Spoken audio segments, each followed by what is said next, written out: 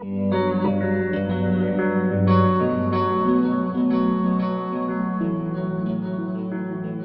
we need to have an idea of what we want to install sockets, lights, switching, appliances. And then we need to firm this up into some sort of plan. We go through it room by room, decide what and where we want to install things. How many sockets do we want? How many lights do we want? How we're going to switch it? Then we can divide it up into circuits and start designing the actual electrical installation. There are design principles we can follow to give us a clear pathway through the design process. These design principles are based on the Design and Verification course, the 2396, and that's uh, an advanced exam, it's a level 4 exam, and it's used for complex installations. But there's nothing stopping us from using the same principles for our domestic design. And I'm finding actually that domestic installations are getting more and more complex. It's good to have a structure to your design process, so we might as well start off with this and it's only going to put you in good stead for any future designs as well. So these design principles will guide us right from the origin of the supply to the final loading. And are there any environmental conditions which will affect our choice of cable? Then we can consider the type of cable and how it's going to be installed, taking time to consider safe working practices during the installation work. Then we can think about how we can protect the circuits and how people will interact with the equipment. And once we've considered all these points, we can start to calculate the size of cable we need. But why do we need to consider the size of the cable? Well, it's to provide for a satisfactory life of the conductors and insulation subjected to the thermal effects of carrying current for a prolonged period of time in normal service. Basically, we don't want the cable to overheat, do we? And when we've calculated the correct cable size, we can confirm that the cable can operate continuously under full load conditions without being damaged, and that the cable is able to withstand fault currents flowing through the cable, and we're ensuring that the protected devices are effective during earth faults, and we're also ensuring that the supply to the load avoids excessive voltage drops. So we want to make sure that cable doesn't overheat and start to melt and pass on that thermal energy to its surroundings, the load, the building, the supply equipment, because it's a fire risk. And if we do get a fault, we need to make sure that the cable can handle any fault currents it can flow. In a fault condition, you could get hundreds of thousands of amps. We're making sure the cable can handle the energy, the heat created during that short fault without damage to the cable. And faults will happen, even something as simple as a light bulb failing. You probably all experience a fuse tripping when a light bulb blows, and that's because there's a big release of energy. Imagine having to change a cable every time you have a fault every time a light bulb blows, we blow the cable as well. And this fault can be large enough to actually break the cable. If that's a CPC, you've lost your fault protection. What we don't want to do though is limit the fault current. It's important to have a high fault current so the protected device will operate in the correct time. And the loop impedance, earth fault loop impedance, is vital to make sure that if you do have a fault, enough current will flow down the cable into the protective device and trip it. Volt drop is a decrease of electrical potential along the length of a cable. The longer the cable, the greater the voltage drop. We want to make sure that that voltage drop is not so great that it affects the operation of any appliances or equipment. You can use it to verify that its circuit, the cable is not too long. So let's have a go at using the design principles to design this circuit feeding an immersion heater for a hot water tank. So we start with the characteristics of the supply. Are we at the origin of the installation? That's where power comes into the building. Or are we further down the line fed from other distribution boards? We consider our earthing system. In this case, it's a TNS. It's an AC supply, 50 hertz. It's a one phase, two wire, could be three phase, but our installation is only single phase. Consider the voltage, the ZE, and the prospective fault current. And what's the type and rating of this service cutout fuse? Next, we look at the nature of the demand. It's going to be a radial circuit. The load is 3 kilowatts, and that's a fixed load. We'd like it to be a dedicated circuit, just feeding this one appliance. And it's a backup. And even though we can't apply diversity, it's going to be useful to know that it's a backup supply when we do our maximum demand. That's why it's useful to find out any relevant information so that you can understand the working life of this circuit. Then we've got to think about environmental conditions and what should we consider. And this is all from Appendix 5 in BS 7671. Appendix 5 is really quite useful. It might seem a little bit complicated or over the top. Don't forget this is based on the 2396 design and verification. It's often used for complex installations where you need good documentation of your design process. But it's useful for us to use as a platform to work from. There's three categories environment, utilization, and construction of buildings. So the first letter refers to the category environment, utilization, or construction of buildings. The second letter relates to the nature or the external influence. The number at the end relates to the class within each external influence. You can see the full list of external influences here. And if we zoom in for water, for example, it'll actually give us categories negligible, drops, sprays, splashes, jets, waves, immersion, submersion. So we're getting a description of the source and magnitude of the influence of water. And then we're getting guidance on selection of equipment and IP ratings to deal with those conditions. It's all very helpful, and it does this for each environmental influence. So I've been through the list and I've taken note of the conditions I think will affect our installation. Let's have a look through them. The ambient temperature. This can vary it can be very warm in a boiler cupboard, and it can also be very cold as well. So in the winter, pipework might freeze. So do we need to consider pipe thermostats? Temperature and humidity is not listed in the book for some reason. Altitude, we don't have to worry about that. The water I put down is negligible. Obviously, there's water in the tank, but that shouldn't be coming anywhere near our electrical supply. We're only in a fault situation. There's no cleaning as such, no sprays of water or jets of water. There's no rainwater. Well, there shouldn't be. Foreign bodies, we're not going to have any issues with dust, so we don't need a high ingress protection for our switching. IP2X will be fine. Corrosion I've put as negligible. Impact, this is negligible. Impact is something you want to think about though.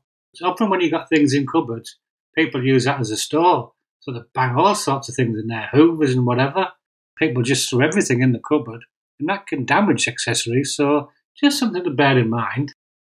Vibration, I've put that as low, but again, vibration is something you need to consider.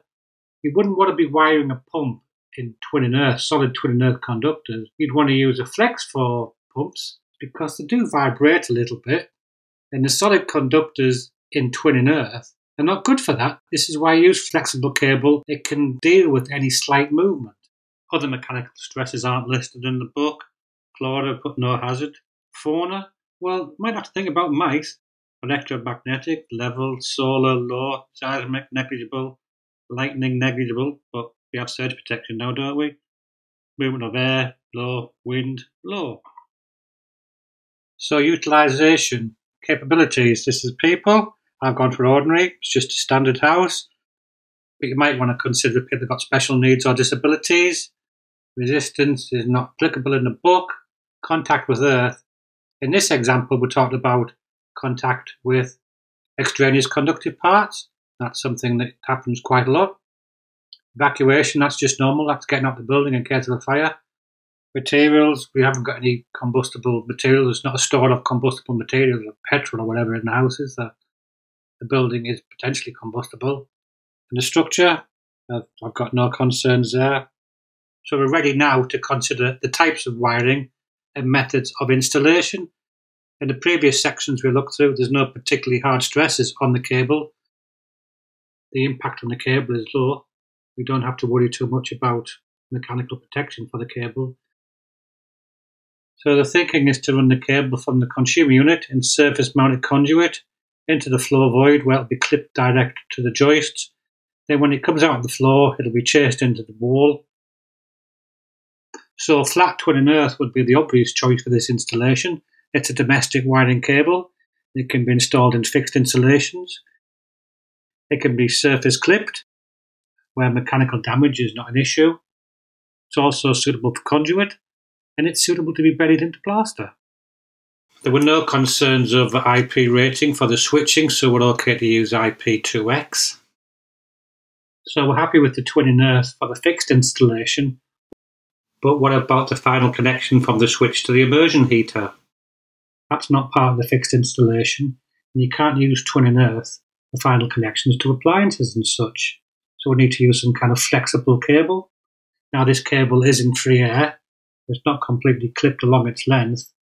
It's got cable support at the fuse spur and at the immersion heater, but it is in free air, especially when it's around hot pipe work.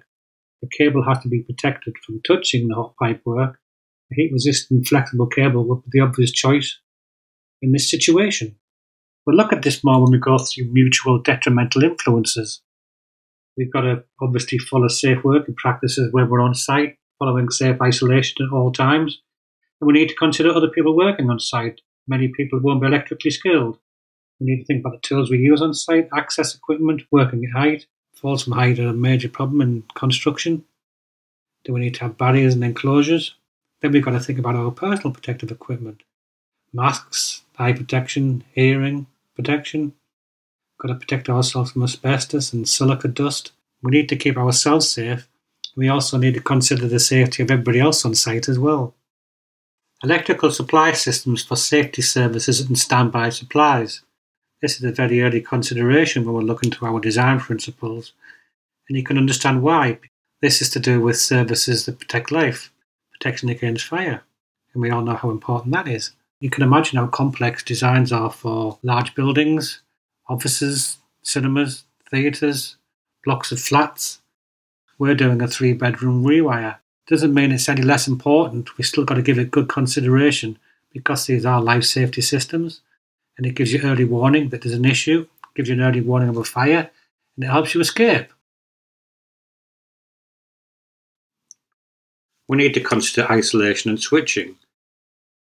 And we have got isolation. We'll have isolation in the fuse board we've got the main switch, and we've also got the RCBO. And then further down the line, we've got the functional switch. MCBs can be used as isolation if you look at the regs, even though it's only single pole. I would just add a little bit of caution to that, especially on lighting circuits. You get something known as a shared neutral. I've got a video on that. I'll quickly go through the shared neutral here. Somebody's added a new light fitting they've taken the feed for this lamp from the downstairs lighting circuit, but they've taken the neutral for this lamp from the upstairs lighting circuit. All will work fine, and you switch this fuse off and switch this lamp off. It Test like it's isolated. You switch this fuse off, and this will test like it's isolated. We want to change this light fitting, so we switch the MCB off for the upstairs lighting circuit. We test live neutral earth, and it all tests dead. That's great. Now we disconnect this neutral here, and then we get a shock. But what's happened? Well, what, what's happened is that this neutral is no longer a neutral. Let's follow the flow of power here. This is fed from the downstairs lighting circuit. We'll follow the line. Comes up into the ceiling rose onto the lamp. And what used to be the neutral is now just an extension of this line wire. Goes through the filament of the bulb and on up into the ceiling rose upstairs. And the disconnection here has broken that neutral. Even though we tested for dead, we isolated, this MCB is off. Problem is, this circuit is now getting its power from the downstairs MCB. So if you're ever working on lighting circuits and you disconnect a neutral, always retest. Uh, make sure you haven't got a borrowed neutral and this neutral's become live. So anyhow, we've got isolation for this circuit, we've got isolation from the consumer unit. We've also got a functional switch nearby so we can actually switch on and off the immersion as and when we need it. So this is not classed as an isolator switch. As you can't lock it off, it's not an acceptable form of isolation. And I know I keep on saying it, but you've got to follow out your full isolation procedure when you're working on any electrical circuit. And if you walk away and come back again, test again. Make sure it's isolated. The method of fault protection we're going to use is ADS, automatic disconnection of supply. But for every circuit, we also want to add additional protection, and that would be via an RCD. In this case, an RCBO, because we're adding individual RCD protection to every circuit. So we've got good discrimination for every circuit, and a fault on one circuit won't impact on another circuit. And because of the method of installation we've chosen, where the cable will be bedded in the fabric of the building, we have to add RCD protection anywhere. So it's got to be a 30 milliamp RCD, we know that uh, we need to calculate the rating of the RCBO, and we'll do that when we do our cable calculations. We need to consider accessibility to electrical equipment. In commercial work, you're trying to keep people away from the electrical installation. Obviously, in domestic installations, people need to operate things, they need to switch things on and off, they need access to things. You need access to your consumer unit for emergency, and also so you can do the regular testing of your RCD. But you also want to place it where kids can't play around with it as well. You've got to consider who's actually going to be living in the building, the house. They've got a disability, their, their age. And so you design the installation for the person that's going to be living there. The building regulations document M gives guidance on the heights of sockets and switches. We then think about prevention of mutual detrimental influences. So we're making sure that our cables are installed to avoid any harmful influences between other electrical cables, such as in grouping, uh, between electrical services and non-electrical services, um, mains cables in contact with extra low voltage cables, cables carrying different voltages, cables in contact with IT cabling, causing interference. Think about dissimilar metals causing corrosion. So we're just making sure there's no harmful influence between our electrical installation and other parts of the building. We mentioned earlier that the cable could possibly come into contact with hot pipework, and that would obviously be detrimental. It's detrimental to the cable. The insulation could start to melt, and eventually you might get to the bare conductors, which then might touch the copper pipework, which could introduce a voltage onto the pipework throughout the house. Or you could get a short and it could actually blow a hole in the copper pipework as well, with the obvious issues that causes. But This is quite a simple circuit, really, so there's not too many considerations here. So, what we need to do now is work out the cable size. Uh, we've been through our design principles, we've looked at the supply, we've looked at the nature of the demand, any supply systems for safety services, any environmental conditions, type of wiring and methods of installation, the protective equipment, the isolation and switching, protected devices and switching, the accessibility of the electrical equipment, and any prevention of mutual detrimental influences. And we are ready to start designing the cable.